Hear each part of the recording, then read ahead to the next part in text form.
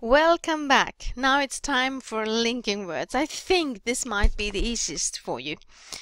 What is the purpose of them? Well, it will help your reader to follow your thoughts and to vary your language because if you start a sentence with this word, you will have to change your word uh, structure a little bit and your sentence will be a little bit nicer to read. Um, for instance, if you would like to present sequence, you would like to present something in order. You say first, or firstly, secondly, thirdly, next, in addition, another, in conclusion. If you would just like to add something within the same paragraph, you can say, well, in addition, furthermore, also, as well as. And sometimes, uh, I know you're writing um, argumentative essays, or if you would like to present two opinions in a book that you've read, then contrast is really good. You can say, this is it, however, there is another point of view here. Nevertheless, or although this person thinks this, uh, Mr. Professor thinks this, Mr. Professor this. You can also say in contrast to this opinion, we have the other one, or on the contrary, and then you present a totally different thing. When you personally would like to present your conclusions, you can say as a result or as a consequence, we can see. Or as a consequence, it is obvious that. Therefore, consequently, due to hence, hence is perhaps not a word that you use that often. And here we come to something that is very important for you when you're writing essays, and that is to motivate your, your opinions. Those words are quite easy. The reasons. For, because, since, as, because of, you know them already, so use them. Sometimes you would like to compare, and then you say similarly, likewise, um, compared to, or just as, and all of a sudden your text becomes nicer. If you would like to stress something or emphasize something really important, you can start a sentence saying obviously or it is clear, but generally, admittedly, um, clearly, undoubtedly, then you really show that this is something that you find really important without presenting your personal opinion and saying, I think. If you would like to present an example, as you found in the quotes, such as including, for example, for instance, um, there you got it. And now I would like to come to something that I found at the Oxford Royal uh, site.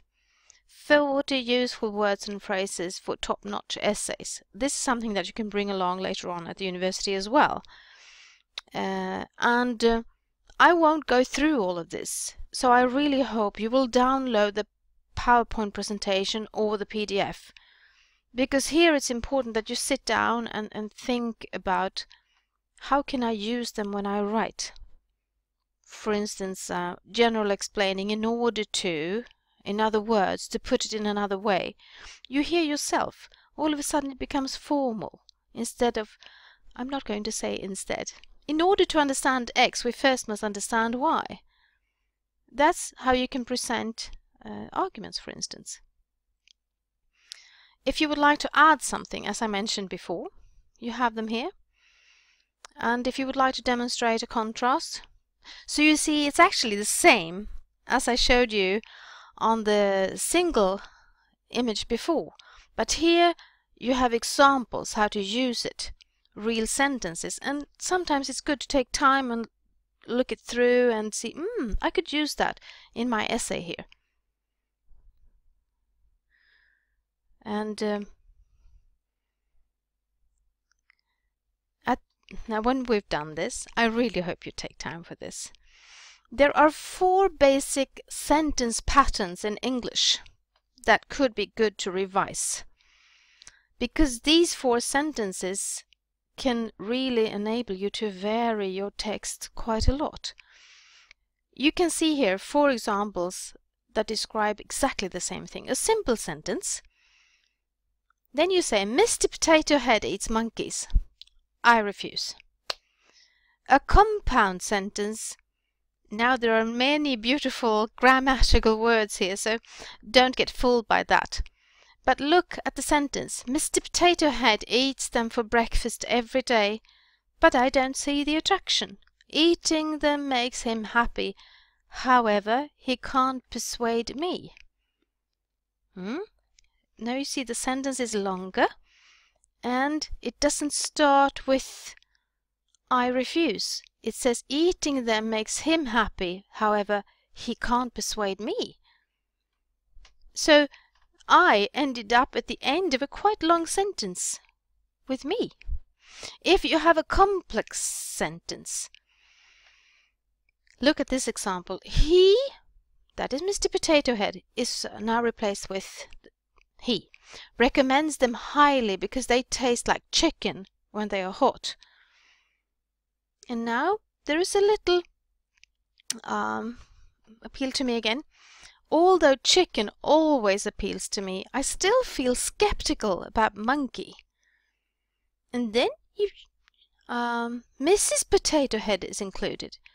Mrs. Potato Head, uh, because she loves us so much, has offered to make her special monkey souffle for us.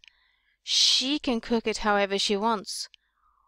Although I'm curious, I'm still skeptical. So here I end up, but you see the swap of the sentences. Although is mentioned twice, what happens then? That shows that there is a little bit ambivalence included here. At the last one, you have Mr. Potato Head said that he would share the secret recipe. However, however, if he does, Mrs. Potato Head will feed him to the piranhas. So we are both safer and happier if I don't eat monkeys or steal recipes. So, you see, in this entire little sentence, all the information from the other sentences are found, but you can explain them in different ways. But of course, Mrs. Potato Head, as you read about in number three, needs to be presented before you can write sentence number four. But you can see there are different ways of writing, and it's much nicer to read, as you see in number three, different sentences, different length, commas to make a pause, to insert something, like although chicken always appeals to me, comma, you have another clause, I still feel skeptical about the monkey. So, in the next one, here she inserts something. Mrs. Potato Head, because she loves us so much, has offered, and so forth instead of just saying Mrs. Potato Head has offered to make a special monkey souffle for us. No, then you insert because she loves us so much. So this is also something that you can do, that you can expand your sentences, insert something interesting. Hmm? So how could you vary yourself more? Let's look at the next one on how to vary a sentence.